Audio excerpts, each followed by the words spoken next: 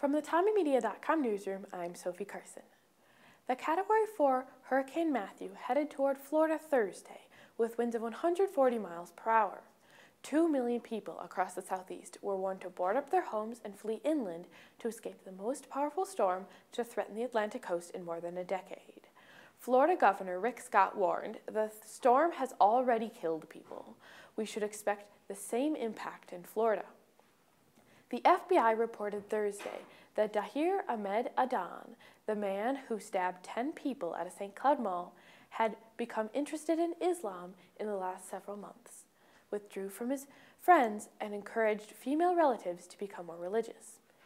In a news conference, the FBI offered no other evidence of any links to extremist groups, including the Islamic State. Investigators are still working on Adan's digital footprint and have haven't yet un unlocked his phone. A 60 year old man working to restore a creek bed in Olmsted County, Minnesota, spent nearly four hours submerged in mud before he was rescued Wednesday. He slipped and fell into the muddy creek and began to sink.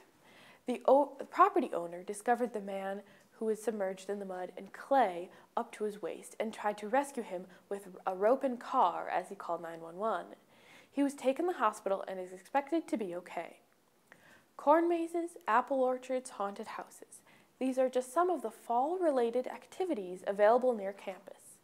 Check TommyMedia.com for designer Carrie Tronvold's graphic explaining the most fun things to do in autumn. For TommyMedia.com, I'm Sophie Carson.